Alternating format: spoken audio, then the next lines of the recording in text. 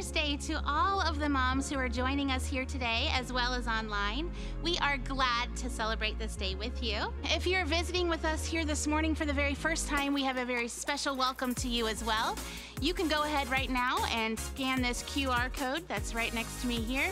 That way you can find out all about the things that are happening here at River Hills, and it's a great way for you to sign up for things that are coming up. River Hills, you are such a generous church, and we love when you give. It enables us to do many things with our ministries, like for our children's ministry, we can do Vacation Bible School in the summer.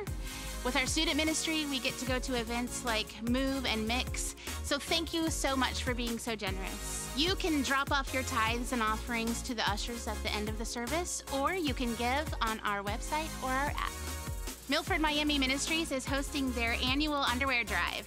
We invite you to bring in brand new packages of underwear to help those in our community that need them.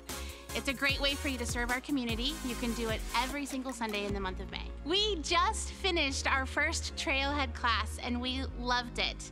We want you to be able to be a part of it, so another one is coming up in June. In fact, it's on June 4th and June 11th, and we invite you and your whole family to experience this together. You can sign up online for this class and then join us right after second service on June 4th. We are so excited to bring back the night of worship. On May 18th at 7 o'clock p.m., we invite you and your family to experience a wonderful evening of praise. We cannot wait for you to be here. Bring your friends, bring your family, and let's pack the house and celebrate our Jesus. Our baby dedication celebration is coming up on May 21st at 4 o'clock p.m. Our baby dedication is designed for you as parents to begin thinking about what your baby needs most. And we believe that that's a personal relationship with Jesus. If you'd like to participate in our baby dedication celebration, it's on May 21st at 4 o'clock p.m. You can go to our website and go to the events tab and sign up there. Thank you so much for joining us today here at River Hills. Now, let's enjoy the rest of the service. Good morning, River Hills, and Happy, Mother's Day. We are coming to you from the Highbury Center, which has been serving missionaries and housing missionaries since the 1890s. And today we are here because yesterday we finished up our ministry in Birmingham, where we were able to encourage church leaders from the UK, from three nations in Africa, from uh, Germany, from the United States, from Australia, hundreds of people. And we feel like God used us in a great way. So thank you, thank you, thank you for your prayers. And we'll see you soon. In my opinion, mothers are the biggest influence anyone can have in their lives. And the reason I say it is because my mom was such a huge influence on who I am today and my upbringing. It started at a very young age. She had myself and my sister in the church every single Sunday, and not just in the church, but being active. Uh, she was a Sunday school teacher, so she was there every Sunday, kind of, you know, spreading the word of God and, and being a disciple maker um, for all the young students at that time. And also, like I said, not just being in the church, but being active. She had my sister in uh, choir for the adult and the youth um, band, and I also played drums and piano for both of those bands as well too. So we were kind of just a just the church family every single Sunday. And it wasn't just on Sunday mornings. My mom helped me navigate the ups and downs and the trials and tribulations of life. And the biggest thing that I admire about her is her strength and her faith in God. High school was a very difficult time for me. I remember, you know, typically every single day coming home, my parents would be arguing um, and it eventually ended up leading to their divorce. And their divorce was very hard on my family and myself, but in particular, specifically my mom. At that time, my dad had moved out. Um, my sister was in college. I was a senior in high school getting ready for college. So my mom had to juggle all of these things, financially helping my sister, you know, in college, trying to get ready for me to go to college, and then also balancing the divorce on our hands as well. Looking back, I never remember my mom having a bad day. She always kept a smile on her face, um, and you would never, never know how difficult that was for her just looking at her. And if you ask her today, the reason why she was able to overcome such a difficult situation is because of the strength and faith that she has in God. No matter what was going on, she always knew that everything would be okay in the end because of that relationship that she had. And I carry that with me today. No matter what I'm going through, whether it's an up or a down, I always give the glory or I pray to God because I know He's always the answer to everything. So, mom and all moms, thank you so much for being you and being such a huge, important piece in everyone's lives.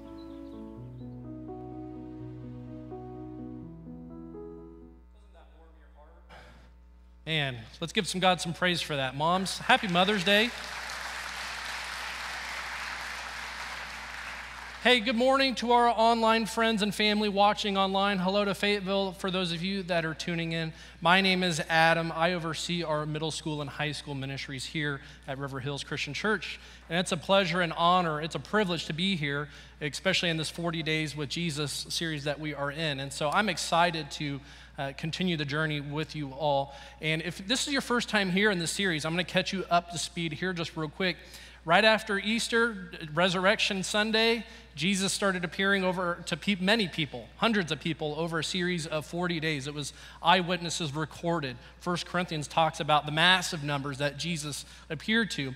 And he, we're getting to, to the end of those 40 days. And so I want to underscore something. This coming Thursday, 7 p.m. Be here. I would love to see this place packed, one spirit, one body, worshiping Jesus. It's going to be a fun time, and it's going to be not just a fun time, it's going to be an impactful time for you and for your soul and with your relationship with Jesus. And so, last week there was this slide, and it really sets us up for here this morning, and it goes like this We cannot. There we go. We cannot live out the Great Commission until we first live out the Great commandment. And so we're going to be looking at the Great Commission, but the Great Commandment, see, Jesus was cornered by many people throughout his earthly ministry. Hey, what's the most important law? There's over 600 laws to follow. What's the most important thing? What's the next most important thing? And to summarize the whole law, summarize the Torah, love God, love people. And out of that love, I mean, it's recorded in the Bible that as a disciple, as a follower of Jesus, they're going to know you by the love you have. You're gonna, they're going to know that you're mine. This is Jesus talking by the love that you have. And out of that, we live the Great Commission. Before we get into that, let me ask you this question Do you ever feel like, be honest with yourself, do you ever feel like it's impossible to follow God in your daily life? Maybe you go through this season, this tough week, and it's like, oh, Lord, really, you want me to do something here? I, you want me to make a change? Or it's just like uh, even getting day to day, moms, dads, you know, you're trying to get kids up, get going. And where my coffee drinkers at? Go ahead, be proud because I'm a coffee drinker. Some of you are being shy. There we go. And so, can you imagine, you know, those weeks where you don't have any coffee and, you know, you're like on E and you don't have any coffee? I mean, that week really feels like mission impossible, trying to manage all the household together. And so, and I think of the movie with Tom Cruise, there's multiple of them. And I think of this picture, I mean, wow, he's climbing the skyscraper, Ghost Protocol. Now, let me tell you something. Whatever you think about Tom Cruise, that's irrelevant. But let me tell you this I have to give respect to him here. He does his own stunts. I mean, that's incredible to think about. This is him actually doing that, and it gets produced in a movie. I mean, maybe you've seen this Rogue Nation. I mean, those of you coffee drinkers, you know, kids having a bad week, you feel like this. Some weeks following Jesus, it feels like this if we're truthfully honest and we take the mask off. See, here's the truth we all have mission impossible moments in our lives. You know, for me, I remember one mission impossible moment was for me in 20, 14. See, I just graduated Bible college from Manhattan Christian College, and I, I knew that I wanted to go into ministry, but I didn't want to force God's hand. So I applied for different things. One of those being was a GTA position, which stands for Graduate Teaching Assistant. And so I taught public speaking at Kansas State University. And that was a fun experience. I had 72 students I was in charge of, four speeches that get more in length over time. And so then you have to go back and rewatch all those. And then you have your graduate coursework on top of that. And then right when I made all of those commitments, a church in the Manhattan area said, Hey, we heard you just recently graduated. We're trying to find, here's the key word, guys part time youth minister position. I mean, that part time youth minister, that doesn't really exist in the world of youth ministry. It's always full time.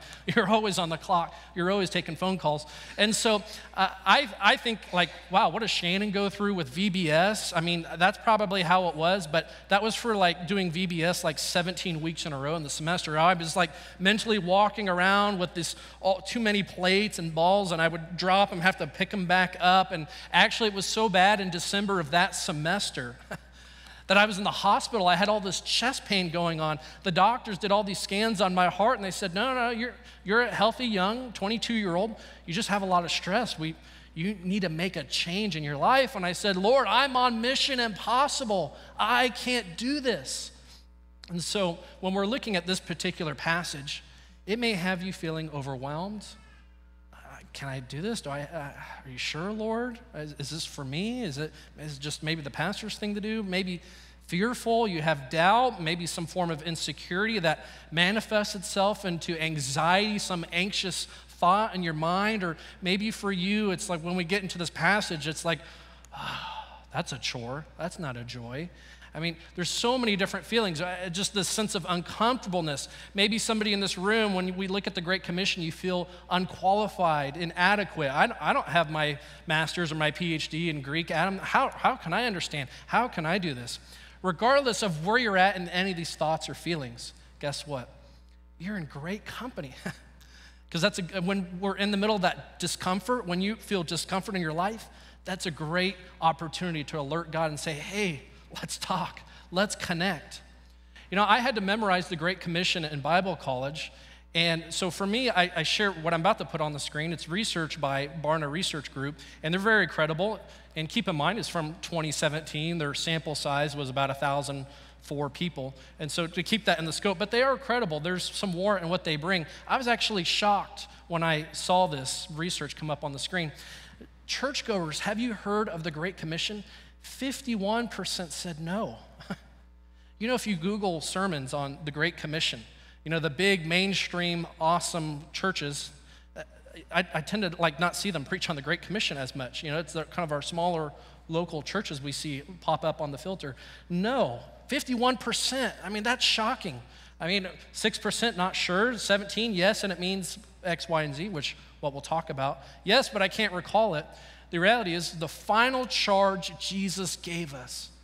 That's the Great Commission. And so let me ask this to you, set this into your mind. Before you were to leave planet Earth, what would be your final message, your final charge to your friends and family? Hey, don't forget to take the trash out. don't forget to feed the dogs. Check on the cat.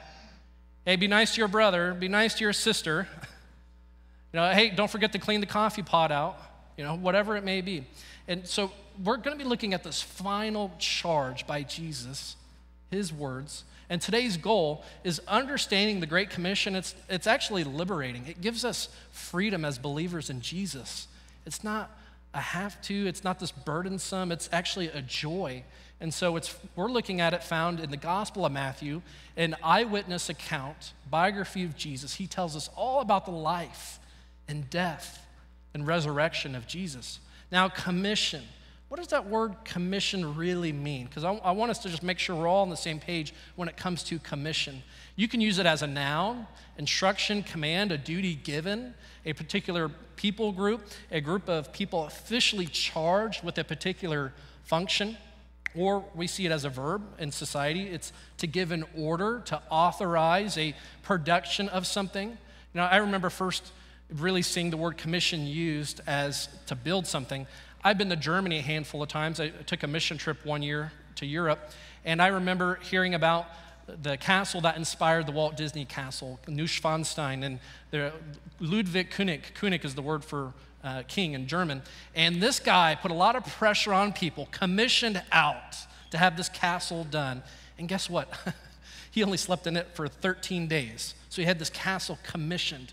Jesus gives us a different type of commission, not of, building, but of people. And that's what we're going to be looking at this morning. So here's Matthew chapter 28.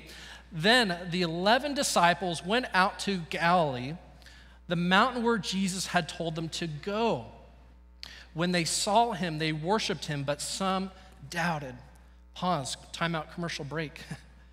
Have you ever had a friend or a family member or somebody say, Hey, I'm only going to believe in God unless, like, some miracle, he just drops down, like, on a zip line right now here. I mean, you have to have some miracle to just convince me right now. Do you know somebody that has said that thought or shared that thought? I see a few hands, some hiding. Now, here's what's interesting. I mean, at this point, Jesus had walked on water. He taught them to pray. He had done it all. Nothing else he could do. Put it all on the line.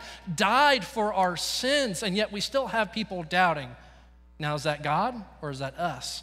Because as human beings, we do human things. And we like to put walls up on our minds and our guard. I mean, if we don't open our mind and open our heart to have that opportunity for the Holy Spirit to nudge you and say, Look, I'm trying to teach you something. I want to show you. I want to reveal myself. If we put that wall up, and it's you're going to miss that miracle. We're going to miss miracles every day. Verse 18 Jesus came and said, All authority, not some, all authority on earth has been given to me. Therefore, go and make disciples of all nations, baptizing them in the name of the Father and the Son and the Holy Spirit, teaching them to obey everything I've commanded. And surely I'm with you always to the very end of age. I'm with you always. So I want to unpack this because there's so much in here. See, Jesus said, all authority, not some, all authority. Now, he's talking to Peter. He's talking to people who know him, who had eyewitness accounts of this. Why is he starting with that? Isn't that already applied? Don't they know by now that Jesus has all authority at heaven on earth? It's been given to him? Well, as human beings, we do human things. We like to take our own authority and package it with our own preferences and use it in a way where it's our own. And especially if you're a really talented professional and individual, it's easy for you to fall under the temptation of what I call humanistic willpower. Like, I, I know you got this, God, but I got this. And it's easy to like make ourselves, I got this, my authority, Adam's doing this. It's actually all stems from Jesus because our faith and the actions that follow from it they all need to be centered on Jesus, not our own authority. That's where division happens in the church. And really, authority puts the perspective on the mission. Because, yes, we're on mission for Jesus, but check this out we're on mission with Jesus. He's alongside of us, the Spirit of God beside us. And so, therefore, go and make disciples of all nations. See, my youth pastor, this is how he taught me what the word therefore means. And warning, Plug your ears because it's going to get loud. This is what the word therefore means according to my youth pastor. Hey, this is really, really important. so now we're all on the same page. We know this is pretty important stuff Jesus is talking about.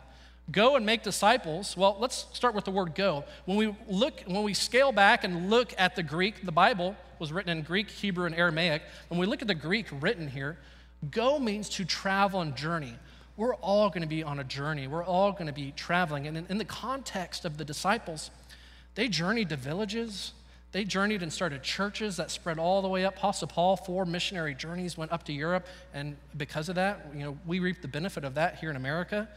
That transferred all the way over there. It, it all started somewhere, folks. And the word go, I find this really interesting the more I dug into it. See, the word go here, it has the same ending, it has the same suffix as for the words baptizing teaching, going, not just go. You know, and I, I think about go because sometimes we as Christians have just viewed this as the golden staple for missionary trips. And I think that's great. I think that's awesome. You know, we actually have a family uh, in the youth ministry. They're taking their own personal family mission trip and they're going to Guatemala. That's amazing. We need that. And if you're not able to go to Guatemala, if you're not able to fly across the world, guess what? Going Going causes us to be intentional too. Making effort, you can start right where you are. I mean, isn't that beautiful? You can start right on the golf course. You can start on your kid's soccer team, your kid's dance team. You can, at wherever you find yourself, where you are going as you go, because going is meant to mobilize us. We weren't meant to be reclusive, we weren't made to be isolated. You were wired, designed for community. And so that going is huge. It's, it's important that it has that ending, that multiple places where we go all throughout our day, all throughout our week. Therefore, go and make disciples of all nations. See, this make disciples, this can be like intimidating, like, well, what is a disciple? It means student. You know, you're a learner of Jesus, you're a student of Jesus, you learn the teachings of Jesus, you obey the teachings of Jesus, you share it as, as you go about your ways. Now, and when we talk about an imperative verb that we see here in the Greek, it's to give an order, it's to give a command when we're talking about this commissioning. And what we see here is that this imperative verb is actually make disciples. While you are going, make disciples. While you're going to school, while you're going to the golf course, while you're in the restaurant, while you have that conversation with the waitress, while you bump shoulders with somebody at Walmart you kind of know, you see like three or four times a year, you know of each other but not know each other. You know what I'm talking about. Disciples traveled all around. They planted churches locally, regionally, globally. And here's where I want us to start to summarize things and to build off of this as we move forward as a church is here's this morning's big idea. See, the Great Commission, it's an entire way of life. It's th- this is what we do. How many of you have Disney Plus and you know Mandalorian? you know, I think about this entire way of life, the Great Commission. You know this phrase this is the way. I mean, this is the way. this is the Great Commission. You know, this is what we do. And Jesus says, I have spoken, I have commissioned you out for this adventure. And, and you have so much purpose beyond what you're thinking in your mind right now. You know, this is the way, this is the Great Commission, folks. You know, what is that going to look like, though? I mean, it starts with living in a way that will convince people. Like, do they know you by your love, or do they know you by just yelling at people? Or, you know, wow, you really took that well. Someone got in your face and yelled at you. How were you so calm when that happened? And I, I heard someone say a conversation like that about somebody. You know, uh, do you know me? Will, will they know you by the love that you have, that you embody? And then on that, we see fruit of that. We see baptizing, baptizing them name of Father and Son and the Holy Spirit. Now, pause for a second, because I think sometimes we skip about this, and I'm breaking one of my personal preaching rules. I do this with our students right here when we hit this topic of the Trinity. See, whether you're Lutheran or Baptist or what, whatever denomination that falls under mainstream Christianity, is that we believe in a triune God. That means three in one. So I want to give you guys a math problem. Who in here is really good about math? You know, so you guys are like pumped up. You guys are going to be the ones to answer this. So here it is. What is 1 times 1 times 1? There we go. You couldn't mess that up. 1. Three in one Father, Son, Holy Spirit. We believe in a triune God. That, I mean, the Trinity, it's powerful, it's complex, but also very simple. I can't think of a better way right now to teach that. One times one times one. If you're sharing your faith with somebody, store that into your tool belt. And baptizing and teaching them to obey everything I have commanded you. Well, what does that look like? Modeling our faith, teaching others his word. And we have those 40 days with Jesus. You, know, you can use those, those booklets, those 40 days with Jesus booklets, after this whole series is over with. You know, have a have start your own neighborhood small group, your own Bible study. You know, the goal isn't to get them in church. The goal is to get them to know Jesus. Life change happens when people meet Jesus. Having action, love God and others. And here's the reality though. See, a church without the Great Commission, it becomes a country club, a Christian social club no much different. When we're on uh, we're on the great commission we are with purpose. We are with jesus. I mean it's so easy for churches to kind of have this comfortable country club without even meaning to. And not that god can't use that at all but i'm so grateful for the vision where river hills is headed. And so i want to put this here on the screen for you again. You know trailhead is something it's not a Pastor Jeff thing. It's not a Pastor Matt thing. We've had about over 20, 30 people's brains on this to try to nail this down because sometimes in North American Christianity, somebody gets baptized and they're like, okay, what's next, church? And we don't have something for them. We don't have any resources. We don't put, help them put them on that pathway, that trailhead. And so that's what this is designed for for you to, one, meet people maybe going through similar struggles and meet new friends and people of our church that you've never met before, but also to help equip you, encourage you. How do we navigate? How do you find your next steps with Jesus? Because that's what we're about here at River Hills. I mean, I would love to really stress out Pastor Matt. I would love at some point for us to say, you know what? We have so many people signed up for Trailhead June 4th and 11th. Like, we're going to have to have, we're going to have to recruit more volunteers, more people hosting. I mean, can you imagine, just imagine with me, if we had over five, 700, maybe even a thousand people going through Trailhead in a year? I mean, wow. Helping people find their next step. Because I think sometimes, whether you followed Jesus for a long time or it's been pretty fresh to you, it's easy to kind of just stay in the same spot where you're at on the trail. And we want to help you. We want to promote growth in, in your marriage, in your kids' lives, in your relationships, and your friends. You know, Dallas Willard, he's a great thinker, and he had this quote that really relates to this. We've become so hyper focused on the conversion and baptism part of the mission that we've neglected to do the important work of teaching people how to live like Jesus taught us to live. I mean, that's so true. And I want you to know that the Great Commission, it's a great movement. I mean, this is huge. This is a big deal. I mean, this was like a mic drop moment, a movement of faith through people. And so, for our moms and our grandmas here and motherly figures here, happy Mother's Day. And a special thanks to you for you being a pillar in the faith of your family and your friends. I know I wouldn't be where I am today if it weren't for my mom and my grandma. Actually, we see that in scripture through another relationship with their mom and their grandma. Here's 2 Timothy 1 5. Here's what he wrote. Paul, excuse me, the apostle Paul was pouring into Timothy, and this is what he recorded in this letter to him. I, Paul, reminded of your sincere faith pause for a second. I mean, this is authentic faith. This is meaning like without hypocrisy. Hypocrisy meaning we tend to overjudge others and we underjudge ourselves. I'm reminded of your sincere faith, which you first lived in your grandmother Lois and in your mother Eunice. I'm persuaded now also lives in you. And this isn't a shot at dads. We'll celebrate you on Father's Day, but in my ministry experience, you know what I have seen stick out? Is that team grandma and team mom. I mean, they're bringing grandkids, they're bringing kids into the church. And maybe there's somebody in this room, you're here right now because grandma or mom say, hey, it's Mother's Day. That's, that's one thing I want for Mother's Day is for us to go to church. You know, the best part is you can give that gift to your mom, your grandma, more than just one Sunday. I mean, I, I, tell you, we have a bunch of Lois, we have a bunch of Eunice sitting right here, right now, that authentic faith pillar that has moved through people. And I think of the relationship I've have with my grandma, and you feel free to say, "Aw, this is me and my grandma." I don't want to get emotional, but I don't, and I don't even know when this was taken. It was a while back, as you can tell. we'll just keep it there. But you know, when I was five or six years old, I remember a whisper. My grandma would whisper to me as a young boy Adam, Jesus loves you.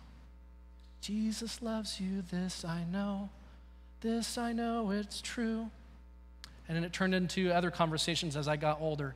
Adam, I don't know how people make it without God. There's so much brokenness, there's so much pain. It's the one common denominator. She struggled with that. I don't know how people make it without Jesus. And then it turned into, hey, Adam, I want you to be a priest. you can laugh at that. 930 didn't laugh at as much as that. And I said, no, can do, Grandma. I, I want to get married. And so thank you, pillars of faith, women in this room. You know, you're going to see a story uh, here later after I pray of Gabe. Gabe's been coming to our church, invited by a friend, and we've had a great time getting to know him. And he recently accepted Jesus as his personal Lord and Savior. I don't want to say too much about his story because he's going to tell you himself in the video, but I will say this. You know, he moved to the States around eight or nine years old, and right before he moved, his grandmother accepted Christ. And here's what gives me goosebumps. I mean, COVID, and there's been so many barriers and stuff that have prevented people to travel. Guess what, guys? She's here in this room. She gets to see her grandson baptized. I mean, praise God. Amen. That's huge. Amen. And Jesus says, Surely I am with you always to the very end of age. You know, we think it's an impossible mission. We have anxiety, we have guilt. None of that matters. It's not an impossible mission because He's with us. He is with us. He sent His Spirit and the Holy Spirit here on planet Earth. Now, those movies that have that agent or, or somebody having this mission, like Tom Cruise, have you ever seen this quote in a movie? This message will self destruct in 10 seconds. You seen that? you know, Jesus didn't say, Go, therefore, make disciples, baptizing. no. I'm with you. I'm going to be with you the entire time. It might not even feel like it sometimes. You might feel like you're alone. You might feel like you're abandoned. You might get even a little depressed. But I tell you, you're going to have trouble, but I am with you the entire time. See, we're on mission for Christ, but we're with Christ. Are we going to fumble the football? Are we going to make mistakes? Absolutely, because everybody in this room is a sinner. That's why we need a Savior. And the Great Commission See, it's a call for every follower of Jesus. And we get sometimes get so caught up on, well, am I going to say the right thing? Are they going to do the right thing? Are they, are they going to accept here? What? Can I tell you something? God's job is, uh, excuse me, our job is obedience. God's job is the outcome. Faithfulness is what we need to do. It's God sorts that out. It's his supernatural ability. It's easy to kind of take matters into our own authority, our own humanistic willpower. So maybe you're here this morning and you're bought in, like, Adam, this makes sense. It's not so much like a burden. So now what? What do I do? Well, let me say a few things as I wrap up to help you think about this a little bit. I, I think about going, go and going, being intentional about the relationships as you go or as you go out of your way. And I think about so many times that yes, I have uh, people have brushed shoulders with me and I've followed up and I've had conversations and I've been able to plant seeds, but I also think about times in my life I haven't been intentional and I need to be intentional all the time. You know, make disciples, ask for opportunities. Be in community, encourage one another, show them the love of God, share your story. I mean, can you imagine if we had like 20, 30 emails on Monday come in and Brett Lempner, our video director, he's just like stressed out because he has 30 people willing to give their testimony and make their story known all over. Our online church ministry is a global ministry, guys. I mean, can you imagine? I would love to stress Pastor Matt out. I would love to stress Brett out because we have so many people. We have a whole line out the door, people willing to share their story. And as people do that, respond and believe and trust, even if not everything all makes sense.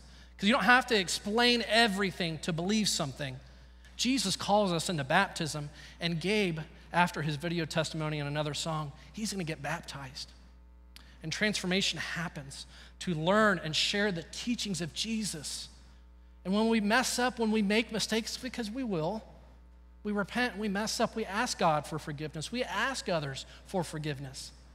And sometimes, in, excuse me, in preaching, it's really tempting to oh, we need to do this thing and this thing. This is what I want you to do at the end of the message. Uh, that's not where I'm led. This is where I'm led this morning. Where's everybody at? Well, I don't know. But here's what I want you to do is to fill in this blank. Maybe today, maybe by the time the, the end of the service, maybe sometime later, because following Jesus starts with, I will with Peter, I'm going to drop my nets and I'm going to start following you. Maybe for you, I will get baptized. I will attend Trailhead. I will attend our worship night this coming Thursday, 7 o'clock. Be here, invite friends. It's going to be super powerful, super encouraging. Maybe I, need, I will start being intentional with friends at my workplace uh, with my fishing crew, with my golf club, with my, my network of parents that I'm connected with. And it's not about filling seats in, guys, because I think that sometimes we've sent the wrong message in church. It's about helping people find Jesus, life change, offering them a better way, because this is the way. It's an entire way. It's the Great Commission. And the Great Commission, it's designed to help people. It's to help people. It's not a, it's not a burden, it's not a chore for all the goodness that can come out of following Jesus, the teachings, his way. And Jesus gave the ultimate mic drop. I mean, this mic drop, everything that he did, it was summarized in these words. Some of your Bibles, it was a red letter, red letters. These were the words of Jesus. I mean, everything led up to this. I mean, he healed people, he taught people how to pray. He did so much for the world, changed humanity. And he said, Go, therefore, make disciples of all nations, baptizing them in the name of the Father and the Son and the Holy Spirit. I'm going to be with you. I have spoken. I can't say anything more. There's nothing else I can do. Everything's built up to that one moment. So let me ask you this Where do you see opportunities?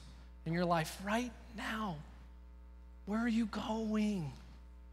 to join Jesus on mission with him because the Great Commission, it's an entire way. This is the way. I mean, if you knew Jesus was with you, even when it feels like he's distant, even when you feel alone, even when you feel depressed, even when you feel anxious, even when you just feel like a whole hole just shot through your family, how would you be different if you knew Jesus was still there? He died on the cross. I mean, Adam and Eve, they got to walk with God in the cool of the day in the Garden of Eden. And sin had entered the world. The blame game happened. Nobody won that day. But there was this hole. The Hebrew word describes sin as chata, missed the mark. There's this gap, and only Jesus fills that gap. And he says, There's a better way. Believe and trust. There's a better way. I'm going to pray, and then we're going to enjoy Gabe's beautiful testimony. Would you bow with me, please? Lord, there's so much on mission here at River Hills. Help us to think about the worship night event this Thursday. Help us to keep Trailhead on our minds, sharing our testimony, being on mission for you. It happens in our circles, it happens in our spaces. Lord, I don't know where everybody's at. But I know following Jesus starts with I will. Maybe there's somebody in this room, they need to accept you as your personal Lord and Savior today for the first time ever. Maybe there's somebody that needs to go apologize to somebody. Maybe there's somebody that needs to start being intentional. Maybe there's somebody in this room that's been a bad example of faith. Give them the courage and humility to go and apologize to people that they need to. Lord, we invite your spirit at work here. Help us to fill in that blank. I will what? We love you. We praise you. It's in the holy and mighty name of Jesus. Amen. Let's watch baptism.